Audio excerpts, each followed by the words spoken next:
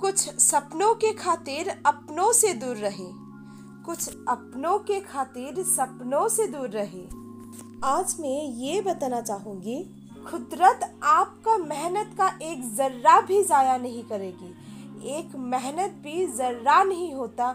ज़िंदगी में बस आप उसको नियमित रूप से करते जाइए। कुदरत को तो इसका कीमत अदा करनी ही पड़ेगी।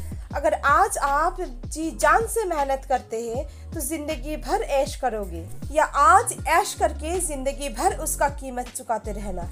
किस्मत तो अदा करनी ही पड़ेगी। ऐसे ही सकारात्मक सोच के साथ मैं अगले वीडियो में आपसे मिलती हूँ।